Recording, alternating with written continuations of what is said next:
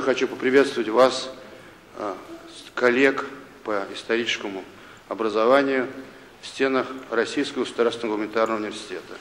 Аналогичного мероприятия в этих стенах никогда не было.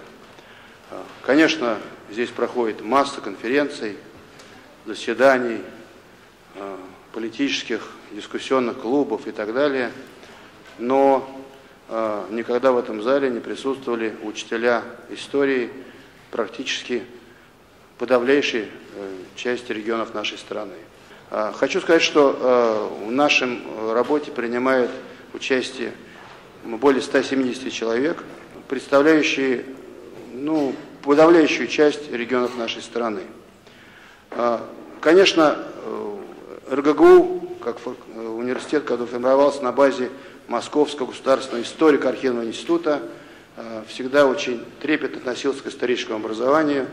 Все 20 лет, э, пока существует РГГУ в новом качестве, э, практически всегда историки принимали активное участие в его формировании и развитии.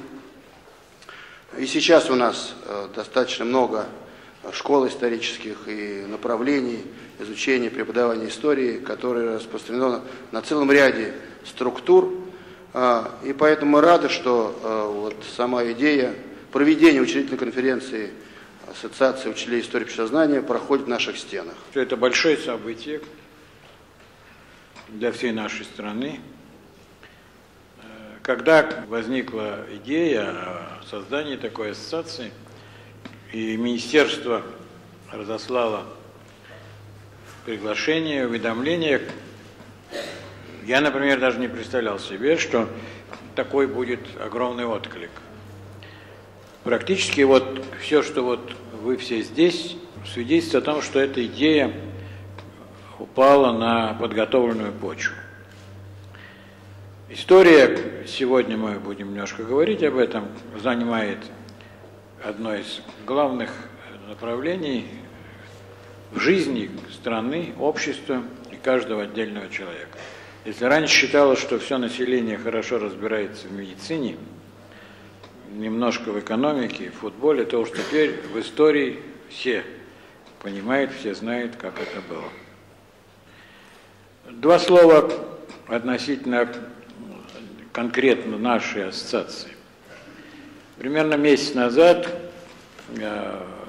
по другому поводу я был премьер-министра нашего Владимира Путина – и подал ему записку о состоянии гуманитарного знания в стране, где в том числе была обозначена, так сказать, возможность создания подобной ассоциации.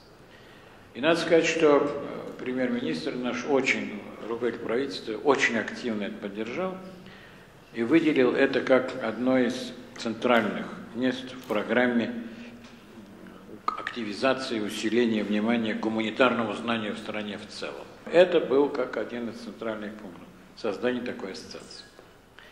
Идея эта очень активно поддерживалась в Министерстве образования и науки, и Министерство инициировало создание ассоциации по другим направлениям. Сейчас создается ассоциация преподавателей школ, имеют в виду школьные учителя, ассоциация учителей математики – и Ассоциация учителей, э, преподающих русский язык и литературу. А мы, значит, здесь это э, история и обществоведение. Это первое. Второе, э, очень важно, мне кажется, такая обратная связь. У нас в стране идут огромные дискуссии по поводу исторического образования, стандартов, учебников – и я думаю, что одна из задач ассоциации будет стоять в том, чтобы огромная наша масса учительства, реально все те, которые заняты, собственно, просвещением народа, молодого поколения, прежде всего, а через них, извините, все семьи и родители тоже, э, чтобы эта огромная масса учителей более активно участвовала и в решении вопросов организации исторического образования в стране. Начался очень важный период в истории российского образования, в частности в истории российского общего образования. А вот с вашего мероприятия начинается создание ассоциации учителей. Александр Аганович уже перечислил, какие ассоциации будут созданы в ближайшее время, плюс еще ассоциация учителей физики мы планируем создать. Но не случайно, что вот эта большая работа началась э, с учредительной конференции Ассоциации учителей истории и общества знания. Это говорит, э, во-первых, о том, что э, ваш ресурс, ваш, ваш потенциал очень важен для развития системы образования. Это говорит о том, что историческому образованию придается очень большое внимание, уделяется очень большое внимание, придается большое значение. И э, мы очень надеемся, что э, не только то, вот о чем говорили Александр Иванович и Ефим Ильич, э, то есть э, учебники истории, стандарты по истории будет сферой вашего применения ваших сил, но и э, другие очень важные вещи в э, государственной политике в сфере образования. Вы знаете, что сейчас началось обсуждение проекта нового закона об образовании.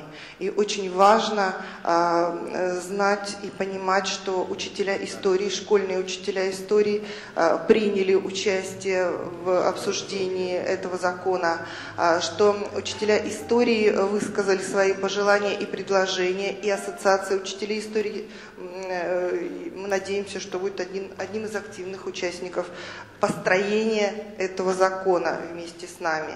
Подчеркнуть, ну, не побоюсь этого слова, исключительность того события, участниками которого мы являемся.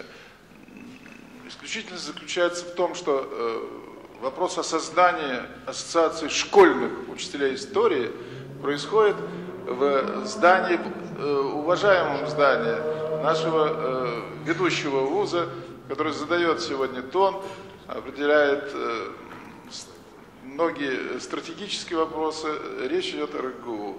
Вот так часто и так долго декларируемый союз школьного учителя и науки, как вы понимаете, делается просто вот реальная попытка, реальный шаг протянуть друг другу руки. Ровно этим и э, будем мы заниматься. Нам нужно выстроить вот этот союз не на словах, а на деле. И мне представляется в системе повышения квалификации реально э, вот этот союз э, выстроить, при этом чутко прислушиваясь к позиции друг друга, чутко понимая, прежде всего, запросы учителей истории вот в той помощи, которую может оказать историческая наука, ВУЗ, нам – Э, школьным учителям истории. Это очень не хватает сегодня всем нам, я думаю, вы согласитесь.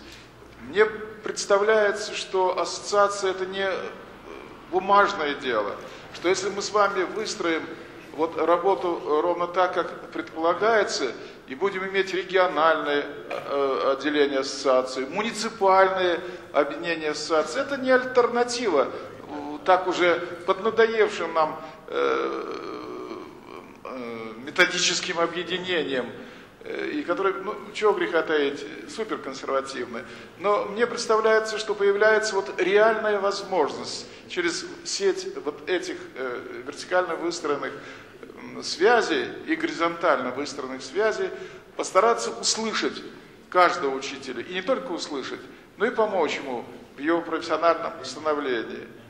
Мы, э, система повышения квалификации Э, педагогических работников очень рассчитывает на союз с ассоциацией.